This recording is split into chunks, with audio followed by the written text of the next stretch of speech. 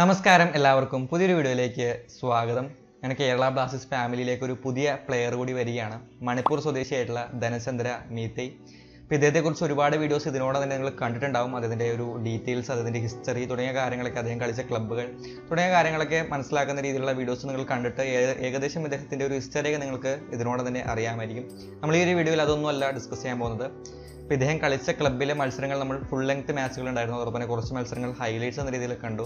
അപ്പോൾ ഈ ഒരു മത്സരങ്ങളൊക്കെ കണ്ട ശേഷം ഒരു സാധാരണ ഫുട്ബോൾ വ്യൂവർ എന്ന രീതിയിൽ നോക്കുമ്പോൾ ഇദ്ദേഹത്തിനെ കുറിച്ച് നമുക്ക് എന്തൊക്കെയാണ് മനസ്സിലാക്കാൻ സാധിക്കുന്നത്? ഇതിന്റെ പോസിറ്റീവുകൾ എന്താണ്? നെഗറ്റീവുകൾ എന്താണ്? അതോടൊപ്പം തന്നെ ഒരു കേരള ബ്ലാസ്റ്റേഴ്സ് ആരാധകന് എന്തെല്ലാമാണ് ഈ ഒരു താരത്തിൽ നിന്നും വരാൻ പോകുന്ന സീസണിൽ പ്രതീക്ഷിക്കാൻ സാധിക്കുന്നത്. തുടങ്ങിയ കാര്യങ്ങളൊക്കെ ഒരു വീഡിയോ കണ്ടാൽ നിങ്ങൾക്ക് മനസ്സിലാവുമെന്ന് പ്രതീക്ഷിക്കുന്നു.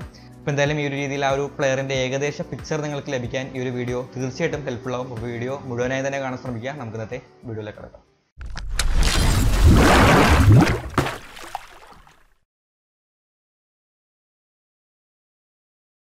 ഓക്കെ അപ്പോൾ ധനചന്ദ്ര മീത്തയിലേക്ക് വരുമ്പോൾ കഴിഞ്ഞ സീസണിൽ ഐ ലീഗിൽ കിഡിം റോഡ് അത്ലറ്റിക് യൂണിയൻ അഥവാ ട്രാവു എഫ് സിക്ക് വേണ്ടിയാണ് ഇദ്ദേഹം കളിച്ചിട്ടുള്ളത്.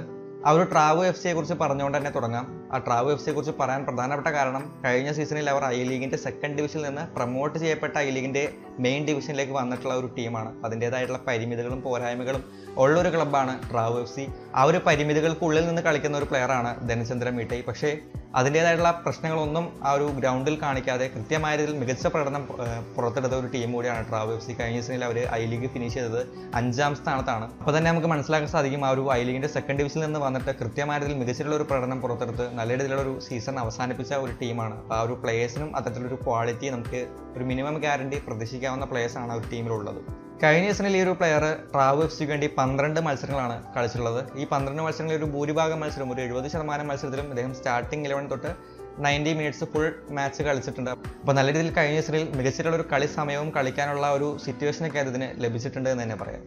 ഇനി അതിന്റെ ഫുൾ മാച്ചുകൾ കണ്ടപ്പോൾ അതിന്റെ കളി രീതിയൊക്കെ കണ്ടപ്പോൾ എനിക്ക് തോന്നിയ കുറച്ച് പോസിറ്റീവ്സിലേക്കും നെഗറ്റീവ്സിലേക്കും വരാം. ആദ്യം പോസിറ്റീവായിട്ട് എനിക്ക് തോന്നിയ പ്രധാനപ്പെട്ട ഒരു പോയിന്റ് പല കളികളിലും അദ്ദേഹം ഹൈ ബോളുകൾ നല്ല രീതിയിൽ ഹാൻഡിൽ ചെയ്യുന്നത് കാണാൻ സാധിച്ചിരുന്നു. ഹൈ ബോളുകൾ കൃത്യമായ റീഡ് ചെയ്യുകയും അത് ഇന്റർസെപ്റ്റ് ചെയ്യുകയും ചെയ്യുന്ന ഒരു രീതി ഇതിനെ കാണാൻ സാധിച്ചിരുന്നു. അപ്പോൾ അതിനാണ് പ്രധാനപ്പെട്ട ഒരു പോസിറ്റീവ് പോയിന്റ് ആയിട്ട് തോന്നിയത്. ഒരു കളിയിൽ തന്നെ ഇത് ഒന്നോ രണ്ടോ പ്രാവശ്യം ആവർത്തിക്കുന്നത് കണ്ടുകൊണ്ടാണ് ഇതിന്റെ ഒരു പോസിറ്റീവ് പോയിന്റ് ആയിട്ട് എടുത്തു പറയുന്നത്. ഡിഫൻസീവ്ലി ഒരു ഫുൾ ബാക്ക് നിൽക്കുമ്പോൾ തീർച്ചയായിട്ടും എടുത്തു പറയേണ്ട ഒരു കാര്യം തന്നെയാണ് ഈ ഒരു രീതിയിൽ മികച്ച രീതിയിലുള്ള മാൻ മാർക്കിങ്ങും ഇന്റർസെപ്ഷനും ആ ഒരു എതിർ ടീമിന്റെ പ്ലെയറെ കൃത്യമായ രീതിയിൽ സ്പോട്ട് ചെയ്ത് അവർക്ക് വരുന്ന പാസുകൾ തടയുന്ന രീതിയാണ് ഈ പറയുന്ന ഇന്റർസെപ്ഷൻ എന്ന് പറയുന്നത്. നല്ല രീതിയിൽ ഹൈ ബോളുകൾ ഇദ്ദേഹത്തിന് ഹാൻഡിൽ ചെയ്യാൻ സാധിക്കുന്നുണ്ട്. ഹൈ ബോളുകൾ കൃത്യമായ രീതിയിൽ ഇന്റർസെപ്റ്റ് ചെയ്ത് ടീം അംഗങ്ങൾക്ക് തന്നെ കിട്ടുന്ന രീതിയിൽ ആ ബോളുകൾ ഇന്റർസെപ്റ്റ് ചെയ്യുന്നതിന് സാധിക്കുന്നുണ്ട്. അപ്പോൾ ലോങ് ബോൾ ടാക്ടിക്സ് ഒക്കെ ഒരു പരിധിവരെ ട്രാവൽസിനെ പരിശീലിക്കുന്ന ഒരു പരിധിവരെ ഈ ഒരു രീതിയിൽ നേരിട്ടുണ്ടായിരുന്നു. പിന്നെ പറയാൻ സാധിക്കുന്ന ഏറ്റവും പ്രധാനപ്പെട്ട ഒരു പോസിറ്റീവ് എന്ന് പറയുന്നത് സെറ്റ് പീസുകൾ എടുക്കുന്ന ഒരു ഇന്ത്യൻ പ്ലെയർ ആണ് ഇദ്ദേഹം എന്നുള്ളതാണ്. കഴിഞ്ഞ ട്രാവൽ എഫ് സിക്ക് വേണ്ടി ഒരുപാട് സെറ്റ് പീസുകൾ കോർണർ അതോടൊപ്പം തന്നെ ഫ്രീ കിക്ക് തുടങ്ങിയ കാര്യങ്ങളൊക്കെ ഇദ്ദേഹം എടുക്കുന്നതായിരുന്നു അത്ര പെർഫെക്റ്റ് ആയിട്ട് വന്നില്ലെങ്കിലും അത്തരം ഒരു രീതിയിൽ സെറ്റ് പീസുകൾ എടുക്കാൻ സാധിക്കുന്ന ഒരു ഇന്ത്യൻ പ്ലെയർ ആണെന്നുള്ളത് എപ്പോഴും ഒരു അഡ്വാന്റേജ് തന്നെയാണ്. കേരള ബ്ലാസ്റ്റേഴ്സ് മാത്രമല്ല ഏതൊരു ടീമിൽ എടുക്കുകയാണെങ്കിലും ആ ഒരു രീതിയിൽ മികച്ച സെറ്റ് പീസുകൾ എടുക്കാൻ സാധിക്കുന്ന ഒരു താരം കൂടിയാണ് ഈ പറയുന്ന ധനചന്ദ്ര മീറ്റ് പിന്നെയുള്ള പ്രധാനപ്പെട്ട ഒരു പോസിറ്റീവായിട്ട് എനിക്ക് തോന്നിയത് വളരെയധികം ഫിസിക്കലായിട്ട് കളിക്കുന്ന ഒരു പ്ലെയർ ആണ് ധനചന്ദ്ര. അദ്ദേഹത്തിന്റെ ഹൈറ്റോ വെയിറ്റോ അദ്ദേഹത്തിന്റെ ഒരു അഡ്വാന്റേജ് കൊടുക്കുന്ന രീതിയിലല്ല അതിനുള്ളതെങ്കിൽ പോലും ഉള്ള ബോഡിയും ആ ഒരു ഉള്ള സ്ട്രെങ്ത്തും വെച്ചിട്ട് അദ്ദേഹം നല്ല രീതിയിൽ ഫിസിക്കലായിട്ട് തന്നെ എതിരാളികളെ നേരിടുന്നത് പല തവണ പലതവണ കാണാൻ സാധിച്ചിരുന്നു. നേരത്തെ പറഞ്ഞ ആ ഒരു ഹൈ ബോളുകളൊക്കെ ഇന്റർസെപ്റ്റ് ചെയ്യാൻ ഈ ഒരു സംഭവം കൃത്യമായിട്ടുള്ള അതിനെ ഹെൽപ്പും ചെയ്യുന്നുണ്ട്. അപ്പോൾ നല്ല രീതിയിൽ ഫിസിക്കലായിട്ട് ഒരു ഡിഫൻഡർ എന്ന രീതിയിൽ കൺസിഡർ ചെയ്യുമ്പോൾ നല്ല രീതിയിൽ ഫിസിക്കലായിട്ട് കളിക്കുന്ന ഒരു പ്ലെയർ കൂടിയാണ് ധനചന്ദ്ര. പിന്നുള്ള ഒരു പോയിന്റ് ആണ് നല്ല രീതിയിൽ ആയിട്ട് കളിക്കുന്ന ഒരു പ്ലെയർ ആണുള്ളത്. സ്പീഡ് ഇതിന്റെ ഒരു പ്രധാനപ്പെട്ട ഒരു പോസിറ്റീവ് പോയിന്റ് തന്നെ പറയാം. നല്ല രീതിയിൽ ആ ഒരു ഫുൾ ബാക്കിന് വേണ്ട ഒരു മിനിമം ക്വാളിറ്റിയാണ് മികച്ച സ്പീഡ് ഉണ്ടായിരിക്കുക എന്നുള്ളത്. ഈ ഒരു രീതിയിൽ അറ്റാക്കിംഗ് ആൻഡ് ഡിഫെൻഡിങ് ട്രാൻസിഷനിലേക്ക് വരുമ്പോൾ പെട്ടെന്ന് തന്നെ കയറി പോവുകയും അതിനനുസരിച്ച് തന്നെ ഇറങ്ങി വരികയും ചെയ്യണം. അപ്പോൾ സ്പീഡ് വലിയൊരു ഫാക്ടർ തന്നെയാണ്. അതും ഒരു പരിധി വരെ ഒരു പോസിറ്റീവ് പോയിന്റ് ആണ് നമ്മുടെ ധനചന്ദ്രയുടെ ഇനി നമുക്ക് ഇദ്ദേഹത്തിന്റെ നെഗറ്റീവുകളിലേക്ക് വരാം. നെഗറ്റീവ് എന്ന് പറയുമ്പോൾ ഒരു മോശം രീതിയിലേക്ക് ഇതിനെ എടുക്കേണ്ട ആവശ്യമില്ല. ഒരു ഇമ്പ്രൂവ് ചെയ്യപ്പെടേണ്ട മേഖല എന്ന രീതിയിൽ മാത്രം ഇതിനെ കാണുക. അതിൽ പ്രധാനപ്പെട്ട ഒരു പോയിന്റ് എന്ന് പറയുന്നത് അധികം അഗ്രസീവായി കളിക്കുന്ന അല്ലെങ്കിൽ ഒരു ഒഫൻസീവായി കളിക്കുന്ന ഒരു ഫുൾ ബാക്ക് അല്ല ധനചന്ദ്ര എന്നുള്ളതാണ്. പലപ്പോഴും നമുക്കറിയാം ഇപ്പോൾ കിബു കനയുടെ ഒരു ഒരു ശൈലിയിലേക്ക് വരുമ്പോൾ തന്നെ വിങ് ബാക്സിന്റെ ഒരു അഗ്രസീവ്നെസ് ഏറ്റവും വലിയൊരു കാര്യമാണ്. അവരുടെ അദ്ദേഹത്തിന്റെ കഴിഞ്ഞ സീസണിലെ വിങ് ബാക്ക് ആയിട്ടുള്ള ആശുതോഷ് മേത്ത ആയാലും അല്ലെങ്കിൽ ധനചന്ദ്ര എന്ന് പറയുന്ന ഒരു പ്ലെയർ തന്നെ അവർക്കുണ്ടായിരുന്നു. ഇവർ രണ്ടുപേരും നല്ല രീതിയിൽ അഗ്രസീവായിട്ട് അറ്റാക്കിങ്ങിലും നല്ല രീതിയിൽ കോൺസെൻട്രേറ്റ് ചെയ്യുന്ന വിങ് ബാക്സ് ആണ്. പക്ഷേ ധനചന്ദ്രയിലേക്ക് വരുമ്പോൾ അധികം അറ്റാക്കിങ്ങിലേക്ക് കോൺസെൻട്രേറ്റ് ചെയ്യാതെ ഡിഫെൻഡിങ്ങിലേക്ക് കോൺസെൻട്രേറ്റ് ചെയ്യുന്ന ഒരു പ്ലെയർ ആണ്. കൂടുതലും ഡിഫൻസീവ് ശൈലിയിൽ കളിക്കുന്ന അല്ലെങ്കിൽ കഴിഞ്ഞ ശ്രീയിൽ ഒരു പക്ഷേ ട്രാവ് എഫ് സി ആ ഒരു രീതിയിലായിരിക്കും ഈ വിങ് ബാക്സിനൊക്കെ ഉപയോഗിച്ചിരിക്കുക പ്രത്യേകിച്ചും അവർക്ക് ഗോൾ കൺസിഡർ ചെയ്യാതിരിക്കുക എന്നുള്ള ഒരു ലക്ഷ്യത്തോടെ തന്നെയായിരിക്കും അവർ കളിച്ചത്. പക്ഷേ കഴിഞ്ഞ അവരുടെ ആ ഒരു ധനചന്ദ്രയുടെ കളി പർട്ടിക്കുലറായിട്ട് എടുക്കുമ്പോൾ അദ്ദേഹം പൂർണമായും അല്ലെങ്കിൽ ഒരു ഭൂരിഭാഗവും അറ്റാക്കിങ്ങിലേക്ക് അധികം പോകാതെ ഡിഫൻഡിൽ കൂടുതലായിട്ട് കോൺസെൻട്രേറ്റ് ചെയ്യുന്ന ഒരു പ്ലെയർ ആയിട്ടാണ് എനിക്ക് തോന്നിയത്.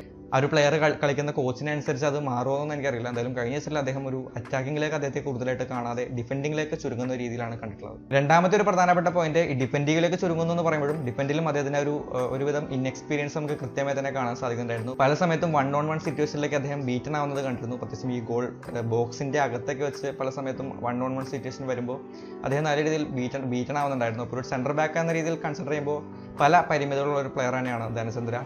ലെഫ്റ്റ് ബാക്ക് ആയിട്ട് കളിക്കുമെങ്കിലും പല സമയത്തും സെന്റർ ബാക്ക് ആയിട്ടും അദ്ദേഹം അതിന്റെ കരിയറിൽ കളിച്ചിട്ടുണ്ട് അതുകൊണ്ടാണ് ഈ ഒരു പോയിന്റ് പ്രധാനമായിട്ട് പറഞ്ഞത്. വൺ ഓൺ വൺ സിറ്റുവേഷനിൽ അദ്ദേഹത്തിന്റെ ഇൻഎക്സ്പീരിയൻസ് കൃത്യമായ രീതിയിൽ കഴിഞ്ഞ സീസണിലും കാണാൻ സാധിക്കുന്നുണ്ടായിരുന്നു. പിന്നെയുള്ള പ്രധാനപ്പെട്ട പോയിന്റ് അധികം പന്ത് ഹോൾഡ് ചെയ്ത് വെച്ച് കളിക്കുന്ന ഒരു പ്ലെയർ അല്ല എന്നുള്ളതാണ്. പന്ത് കിട്ടിക്കഴിഞ്ഞാൽ എത്രയും പെട്ടെന്ന് പാസ് ചെയ്യുക എന്നുള്ള ഒരു മെന്റാലിറ്റിയിലൂടെ കളിക്കുന്ന ഒരു പ്ലെയർ ആണ്.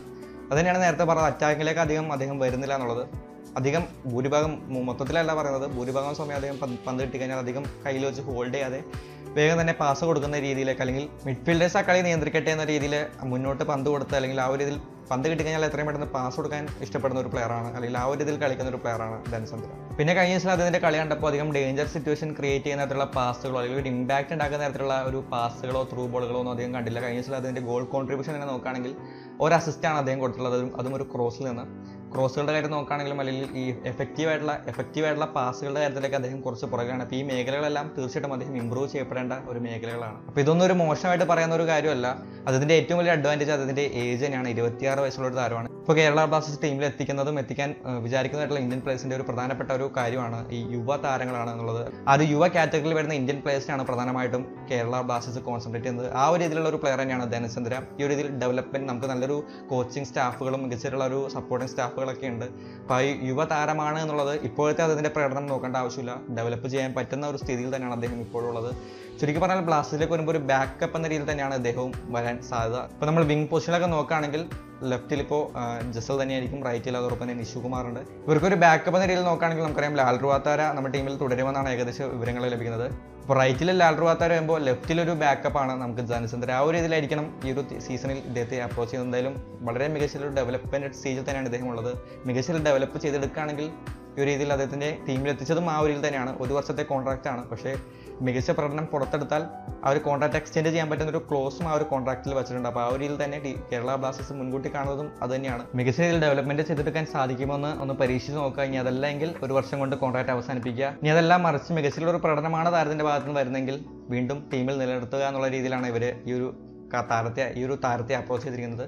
തീർച്ചയായിട്ടും ഒരു ബാഡ് ഓപ്ഷൻ ആണെന്നോ അല്ലെങ്കിൽ ഒരു മോശം തീരുമാനമാണെന്നോ ഒന്നും ഒരിക്കലും പറയാൻ സാധിക്കില്ല. ഒരു ബാക്കപ്പ് ബാക്കപ്പ് എന്ന രീതിയിൽ കൺസിഡർ ചെയ്യുമ്പോൾ ഒരു മികച്ച ഓപ്ഷൻ തന്നെയാണ് ധനചന്ദ്ര ഒരു യുവതാരമാണെന്നുള്ളത് തീർച്ചയായിട്ടും വളരെയധികം ഒരു അഡ്വാന്റേജ് തന്നെയാണ് കേരള ബ്ലാസ്റ്റേഴ്സിന്. അപ്പോൾ ഇതുപോലുള്ള പ്രതീക്ഷകളില്ലാതെ വരുന്ന പ്ലെയേഴ്സാണ് ടീമിൽ അത്ഭുതങ്ങൾ സൃഷ്ടിക്കാറെന്നുള്ളത് ഒന്നുകൂടി ഓർമ്മിപ്പിച്ചുകൊണ്ട് വീഡിയോ അവസാനിപ്പിക്കുന്നു. അപ്പോൾ വീഡിയോ ഇഷ്ടമായെങ്കിൽ തീർച്ചയായിട്ടും ലൈക്ക് ചെയ്യാൻ മറക്കരുത്. അതോടൊപ്പം തന്നെ ഒരാളിലേക്കെങ്കിലും ഒരു ഗ്രൂപ്പിലേക്കെങ്കിലും വീഡിയോ ഒന്ന് ഷെയർ ചെയ്യാം.